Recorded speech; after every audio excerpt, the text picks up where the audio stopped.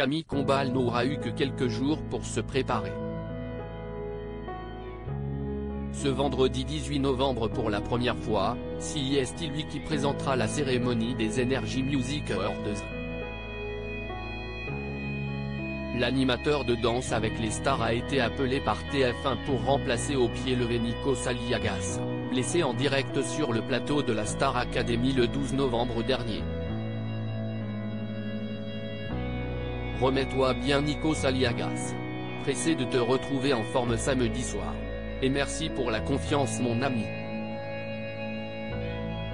Stress à 8000 maintenant pour être à la hauteur, écrivait-il sur Twitter après l'annonce officielle.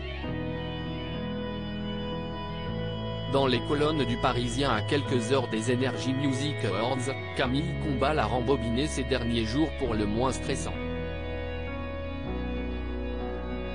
On m'a sollicité mardi soir mais j'étais au théâtre. Donc je n'aille plus rappeler que le lendemain, s'est-il souvenu. La première chose qu'il a faite, si est de contacter l'animateur de la Star Academy.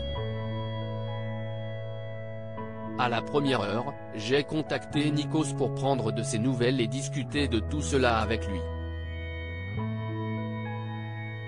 Là, il m'a dit qu'il avait lui-même proposé mon nom pour prendre la relève, a raconté Camille Combal à nos confrères.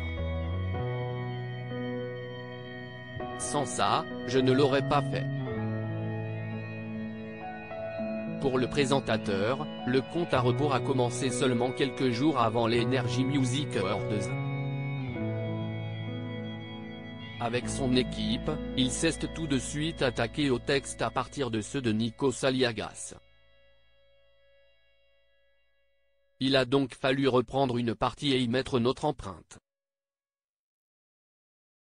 Même si en 48 heures, on ne peut pas faire tout ce qu'on aurait rêvé de faire, a-t-il regretté auprès de nos confrères, optimiste, je ne suis pas du genre à avoir le trac. Enfin, je ne suis pas sûr de pouvoir faire la même réponse. Juste avant le début de la soirée. Nico Saliagas a fait une chute de près de 2 mètres quant à Nico Saliagas, il regardera donc les Energy Music Awards depuis son canapé. Chers amis, après une mauvaise chute je me suis blessé samedi sur le prime de la Star Academy. Concrètement je ne pourrai pas voyager à Cannes et assurer la présentation des Energy Music Awards, visage triste hâte de vous retrouver samedi en direct sur TF1 pour la demi-finale de la Star AC, annonçait-il sur les réseaux sociaux. Invité de la chaîne La TV sur Twitch, Jean-Pascal Lacoste avait fait des révélations sur la blessure de l'animateur. Nico s'est tombé du plateau de la Star Academy, il a fait une chute de près de 2 mètres, a raconté l'ancien candidat du télécrochet. Il a lancé la pub et il est tombé dans la fosse du public. Il boitait et il est parti du plateau avec une vraie douleur.